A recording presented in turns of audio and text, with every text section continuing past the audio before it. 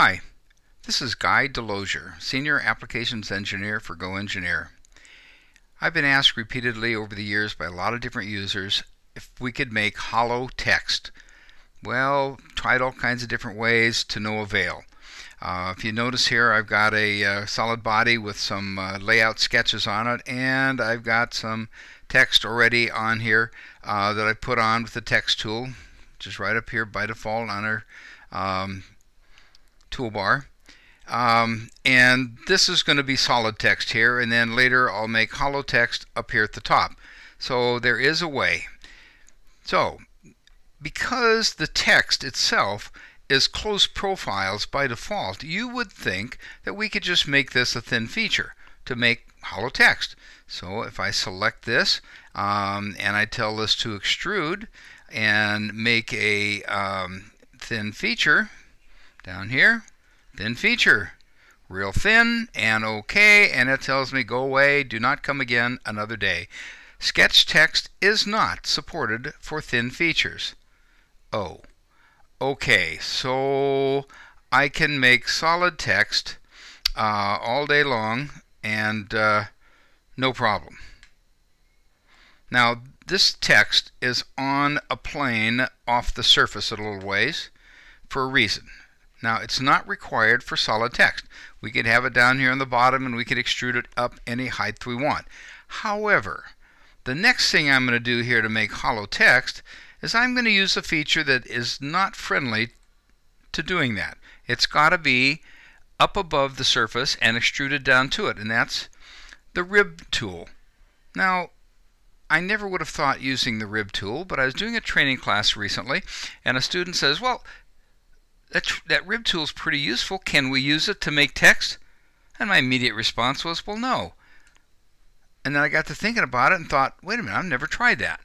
So I went and tried this, and lo and behold, when we use the rib tool, now we need to make this pretty thin stuff um, because what happens here is if we get this um, too thick, this 5 thousandths here, let's make it um, 30 thousandths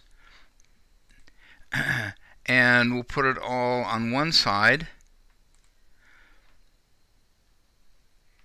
What happens is, if we get it too big, the things like the S's fail. They, they don't play right.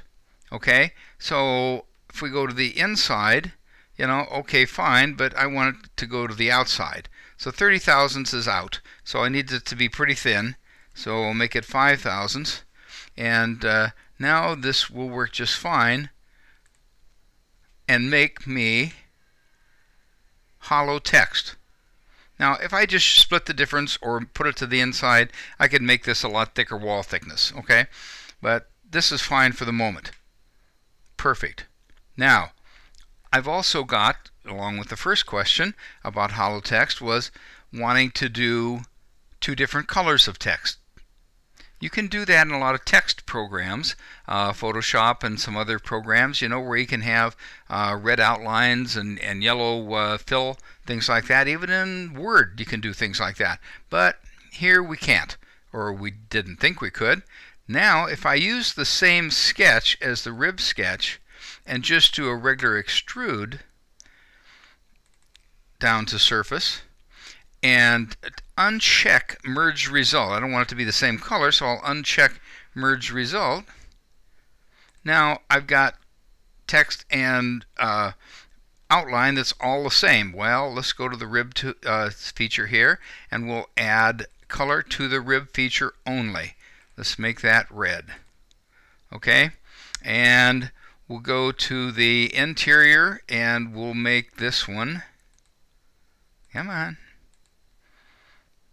yellow. Well, it looks like I've got my text and my rib um, overlapping each other. So let me go back to my rib and uh, adjust that. Sometimes you got to uh, play with it and go one way or the other. So let's try the other way here. There we go. I just had it on the wrong side. So now I got a red outline with yellow letters. Wow. There's a lot of people that would really like that. If I want to put you know color on my other one, of course, no mystery there. Uh, go to the Boss Extrude and make it blue. Okay. So I've got blue solid text, I've got red hollow text, and I've got a yellow filler, you know. Um, and I could have configurations, of course, where I could suppress the filler text. So I didn't have that if I didn't want. A lot of things you can do here uh, if you're using the uh, the rib tool. But again, you know, the rib tool, uh, the sketch has to be up above the surface because the rib tool goes all the way down, all the way out by default. Two directions up to next. So because it's closed profiles, it's only going all the way down. If you try to put it on the bottom and extrude it, um, have it go up, it sees infinity, leaks out, and fails. So that doesn't work. So this this works beautifully. I've got text that's two different colors. Um, I can either have it hollow or I can fill it in um, and uh, have multicolors here. Hope this uh, helps your day along a little bit. This is Guy Delozier, Senior Applications Engineer for Go Engineer. Enjoy.